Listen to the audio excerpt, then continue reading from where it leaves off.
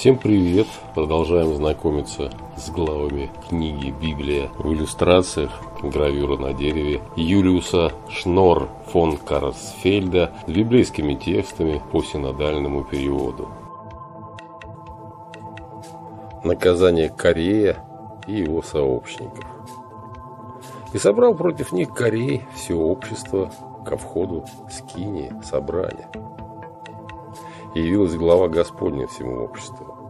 И сказал Господь Моисею и Аарону, говоря, «Отделитесь от общества сего, и я истреблю их по мгновение».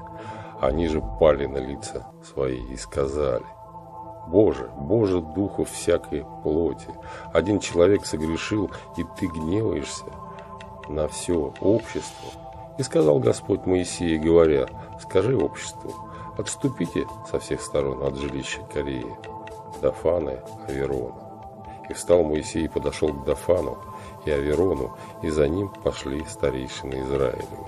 И сказал обществу, отойдите от шатров нечестивых людей, не прикасайтесь ни к чему, что принадлежит им, чтобы не погибнуть вам вместе во всех грехах их.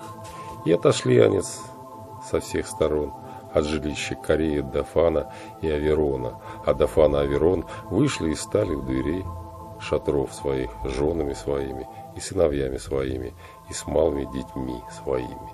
И сказал Моисей, из всего узнаете, что Господь послал меня делать все дела сии, а не по своему произволу я делаю сие.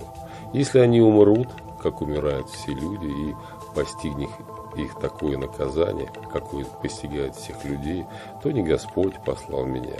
А если Господь сотворил необычное, и земля разверзет уста свои и поглотит их, и дома их, и шатры их, и все, что у них, и они живы сойдут в преисподнюю, то знайте, что люди сии презрели Господу. Лишь только Он сказал слова сии, расселась земля под ними, а разверзла земля уста свои и поглотила их, и дома их, и всех людей Кореевых, и все имущество, и сошли они со всем, что принадлежало им, живые в преисподнюю, и покрыла их земля, и погибли они из среды общества.